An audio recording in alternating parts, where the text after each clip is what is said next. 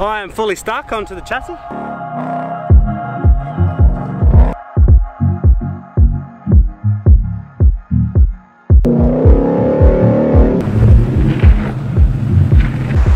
Holy, welcome back to a new year for Days Off Adventures guys. Welcome back. I'm super stoked to have you here with me. We have got some, uh, got a brand new year. Oh, have I got the biggest, tastiest secret I've been keeping from you guys for a very, very long time. This is a massive project. It's a massive way that this channel is going to take, uh, a turn this channel is going to take, and I'm glad to share it with you guys. So here it is the big secret that I've been keeping from everyone. So if you head to Mackay Council website, on their website, there will be 101 things to do in Mackay. Guess what your boy's gonna do? Every single one of them. I'm gonna do every single one of them on that website and more and I'm going to bring it to you. So I'm going to give you information about the places to go, things to do in Mackay. This is the biggest project I've ever done and I'm super, super stoked to bring it to you guys. So today we're kicking it off. We're kicking it off this year. Oh mate, look at this. Blue skies, white sand, blue beach, no wind, just the tiniest little breeze of wind. I am super stoked. Big girl in the background. Ugh. Guys, I'm at Cape Palmerston. Cape Palmerston is probably the speckiest spot in Mackay. Great for camping, a little bit of four driving. Um, now, campsites, I will give you this information. Campsites, for me tonight, is seven bucks for me in the car. That's it. I think for a family, uh, it's about 28 bucks for a full family of four and one car. I think it's a little bit extra for camper trailers, but I'll leave a link to Mackay, uh, to Queensland Parks in the description below, as well as Mackay Council, um, Mackay Tourism, all the websites, so you can get all this information properly in the link below. So today we're going to explore Cape Palmerston. I always come here and I haven't come here in a fair while because I've been busy doing other stuff but I'm actually glad to come back. It's so beautiful this place. This place is uh, definitely one of those places that is underrated and um, I actually have to kind of beat the tide. I'm having a bit of drama with my drone at the moment which I'm pretty annoyed about. DJI, fix your gear mate, I'm over it. So we're going to punch up the beach, um, head up to Windmill Bay and try and get to the lookout and hopefully do some fishing on high tide. So let's jump in the car, let's go. So if you haven't headed up to Cape Palmerston before guys, uh, very, very tidal. So if you think you can get up here in high tide, uh, you can't, you can't. I'm actually racing the clock right now to uh, get to a certain point. Hopefully I can get to it or else I'll have to wait out the tide. Um, it was just, that's just the time of day I had to get here. Um, but definitely check the tides before you come here. Um, I should be able to get pretty close up the beach. There is an inland track, but unless you want to scratch up your new car, it's covered in lantana, and uh, there's a lot of lot of uh, big bog holes there, and um, I've actually been stuck with there once before. So definitely the best drive is up the beach. Um, definitely drop your tire pressures if you're unexperienced. Uh, always drop your tire pressures on the beach. It just helps you give you a bigger footprint in the sand to give you more control, give you better traction in the in the sand. So we're driving along the beach right now, and yeah, she's she's still a bit uh, bit compacted the sand, which is pretty good. But yeah, we definitely have to race this tide, and I'm hoping to get around this point. And then once we get up this point, we can head up inland. There's a track inland that you can hit, but I didn't want to hit the first inland track, yeah, because it's just it's not a good site. So there's camping all along the beach. Um, there's heaps of campsites as you drive in uh, along the beach. Uh, you'll see them all along the beach. Windmill Bay is probably my first destination of campsites that I'm going to try and look at today. Uh, I do want to try and do a bit of fishing. I've got a bit of squid there and a few lures. Uh, bluey country around here, as I've been told by the locals. So if you do like to fish and you've got a boat, definitely uh, drop it in on the beach here. I, I wouldn't suggest a massive boat, uh, maybe a tinny, but um, yeah, it's definitely a beautiful place and definitely have to watch the tides when you're coming in here, guys. Um, they can get, uh, we're actually at a very high tide today, actually, so I'm hopefully just gonna go as far as I can and hopefully I can get to this other inland track and um, Yeah, and then, then I should be right. It, it, won't matter. The tides won't matter to where I'm going. You can hit inland tracks from there. I just don't want to hit that first inland track because it's yeah, it's boggy as hell and covered in lantana. I seen it on the way in, and yeah, I would have just scratched up my car the, in the first five meters. So it's not something I want to do, and I'm sure you guys don't want to do it either. So as you can see, the tide is actually racing in right now. I'm on the sand now and it seems to be pretty dry which informs me that where I'm driving it, the high tide mark hasn't gone any higher than where I'm driving so should be alright and as, as and the reason why we do this guys is uh, salt water is no good for the car definitely no good for the car so I was hoping to get my drone up which I'm pretty devil about but I don't think I'm gonna have a chance to mainly because I'm racing the tide as I've said and DJI uh, they just don't want to uh, improve their app for the Mavic 2, which I'm absolutely annoyed about. All right, guys, I'm gonna punch it. So we definitely made it. Now, uh, if you want to head to Windmill Bay, I will say this, as you get onto the beach from the main road of, I think it's called uh, Cape Palmerston Road, uh, if you want to head down to where I am, so you get on the beach and you turn left and you just keep following that beach, you'll go around uh, a big corner and you'll come into a little bay and then right at the end there'll be a bunch of mangroves there and be, you'll see the track come straight in. Now I'm at a bit of a fork in the road here so from memory that way heads out to a point which you can go to I think we used to hit that a lot in the Forbies but we're going to go straight we're heading to Windmill Bay that I'm pretty sure that way takes you out to the beach and so if you're coming in through the track here right will take you to another beach and you go straight ahead to go Windmill Bay and that's where we're headed now so again guys what I'm doing this year is 101 things to do in Mackay. I'm going to hit every track, every campsite, uh, try and do a lot of family fun events that I can show you guys, give you as much information as possible. So hence why I'm talking a lot. but um, I just want to do this mainly because a lot of people ask me a lot of questions about what there is to do in Mackay and they want to know more information about where I'm going. So this is what I'm doing guys. I'm going to try and do as many as I can and give you as much information as I can so you can get out there on the track. So if you're going to find this this content valuable, please hit that subscribe button and hit that like button and leave a lovely comment to me guys. And because that's going to make my that's going to make my channel grow and that's pretty much what I want to do. I just want to help you guys get out there and have a bit of fun, with your family all by yourself or with your mates or with your missus and just get out there and hit the tracks guys and just get lost in this beautiful country we have Australia and this beautiful town in Mackay. So again that's what I'm doing. Look at the big girl in the back. Loves it. Loves it. Cruised along the beach very very nicely. I was in low range there. Oh actually let me give you a bit of a tip for driving on the beach especially here. Stay at 60 60 is probably the highest speed you want to do on the beach. Any more than that, man, you hit a, you hit a soft patch, you could easily roll your car. It's happened so many times, you see it on the news, people drive stupid on the beach. I'm going to promote safe driving for everyone on the beach and for yourself and your family. So 60 is the highest. If you're not confident on driving on the beach, go slower. But a good tip is keep the momentum up.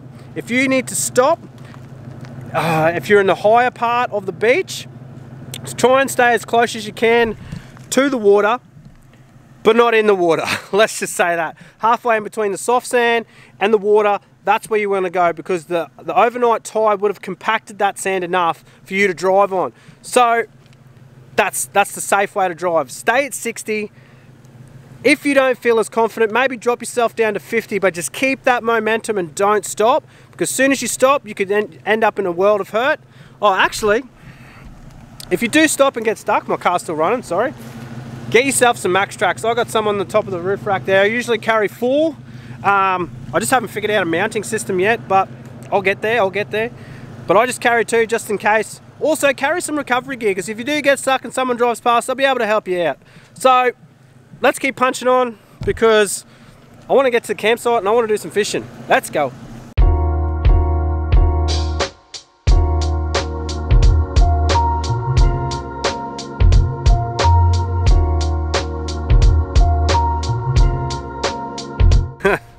Tell you what, it's a hard life. It's definitely a hard life. Windmill Bay.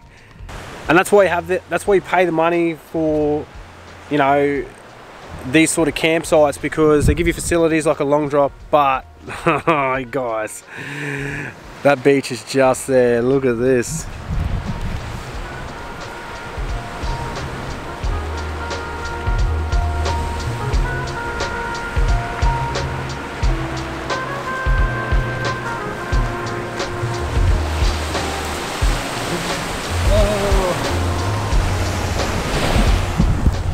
Stayed in terrible places, but this is not one of them.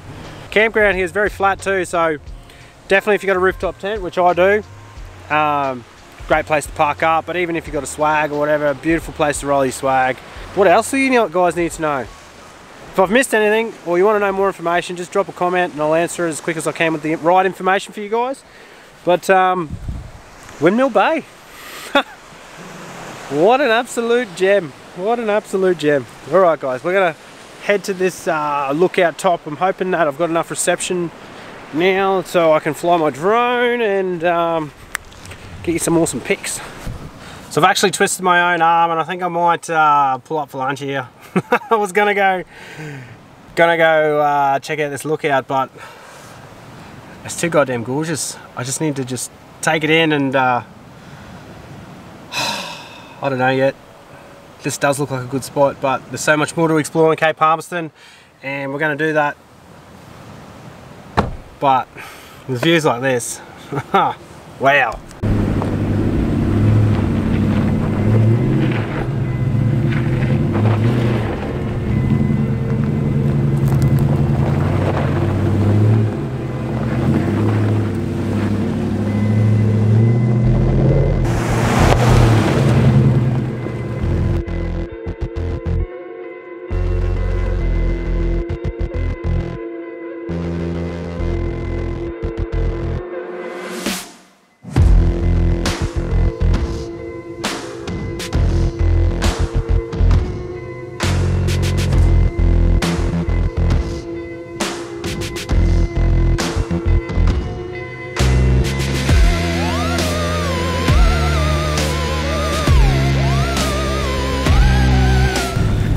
So I uh, got lost, but I went, end up going into uh, the creek there, uh, Cape Creek I think it's called. Anyway, it was completely packed, there was heaps of people.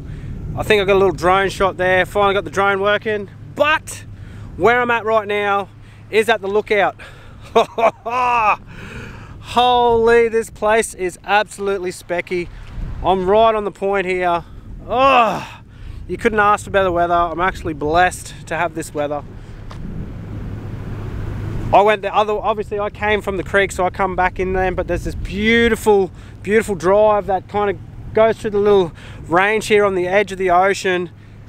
Oh, I'll show you, I'll show you, but I've got here now, um, I think I might head back to Windmill Bay. I'm hoping that it hasn't been packed out now. If not, I might find somewhere closer to Windmill Bay. But all along this rock wall here, I'm definitely going to throw a lure this afternoon. Even though it'll be low tide, I'll be able to get right out and maybe get, maybe able to land something because in the high tide, you've definitely got a big chance, unless you've got a popper or something, to get caught up on the rocks. And yeah, I don't want to lose lures again today. So we're going to head through back on the coast bit of this dirt road and I'll show you these drone shots guys because it is a specky specky place. Tick this one off the list if you can get here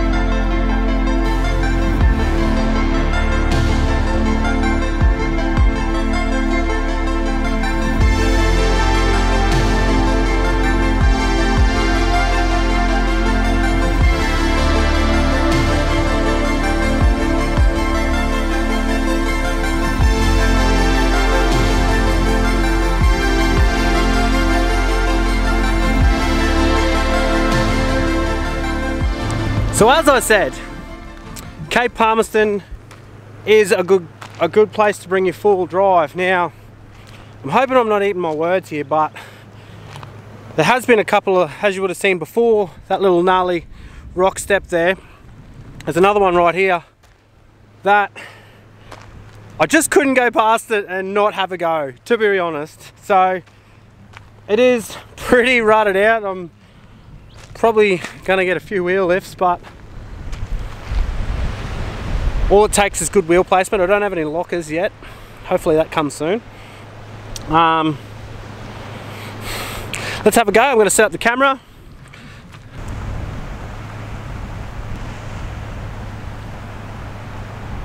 So definitely going low range for this one. Um, see how we go. Hopefully not too hard.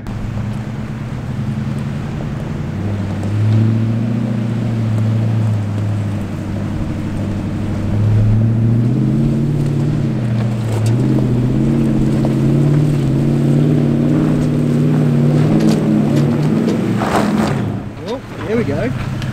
Holy!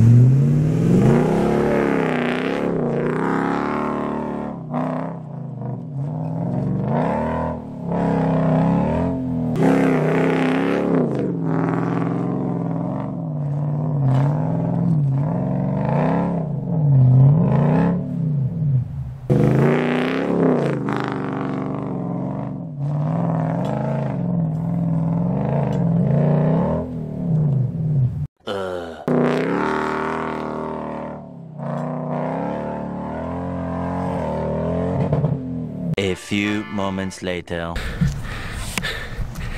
You asked for it. I'm now bogged. oh, now you're going to watch a bit of a montage of me digging my car out. Good times.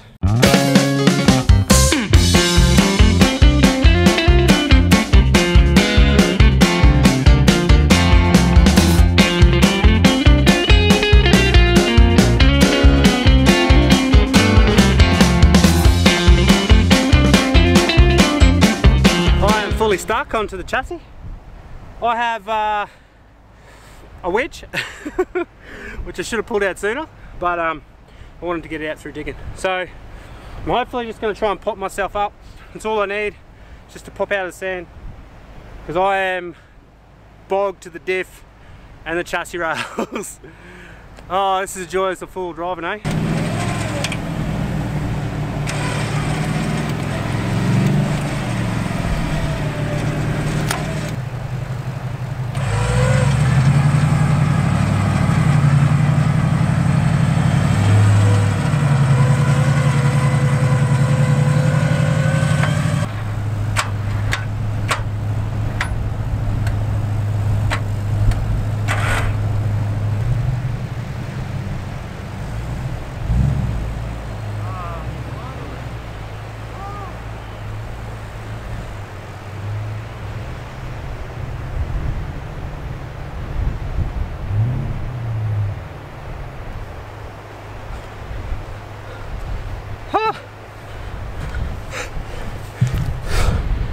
Do not try that at home. Oh my god. Been zoomed in. Oh! Righto. Can anyone spot where we went wrong? oh.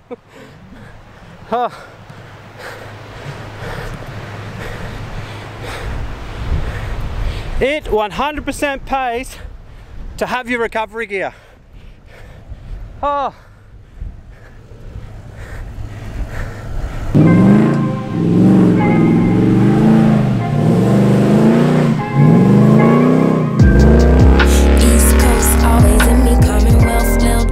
Getting love from my city. I roll call for the DMV.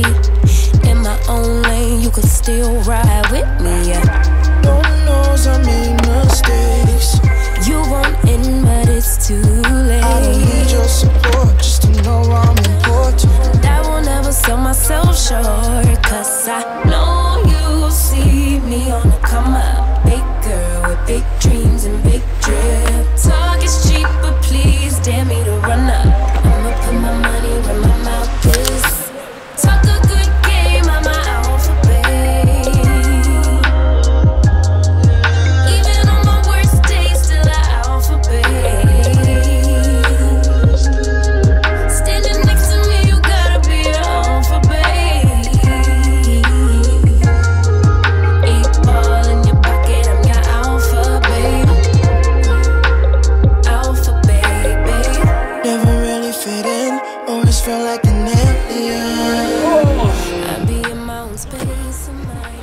As you see, I had a bit of a shower. oh, that feels so much better. I was covered in sand. I'm gonna have to clean the car out before I go do anything. But um, this is probably the best campsite, Windmill Bay. If you are looking for a campsite at Cape Palmerston, oh, just because if you've got kids and even in your missus, there's a toilet block right there. I know some people don't like to go poop, pooping in the woods. It's a uh, conversation that, um, we'll put it this way, no, no one really likes to talk about it, but it, it needs to be talked about. So, Windmill Bay, pretty stoked. I don't really have to do much to set up camp. I was going to throw the awning out, but I don't really want to. I don't need to. I really don't need to. I do think I might go grab some uh, firewood. Might make myself a fire. But before that, I'm going to enjoy this drink and uh, see you in the afternoon.